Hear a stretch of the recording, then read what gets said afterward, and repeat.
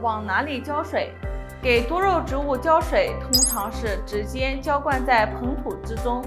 大多数的多肉植物，由于其植物的种类的特殊性，株体上并不是可以直接沾染水分的，容易造成多肉植物的破裂，招来病虫害或者是腐烂。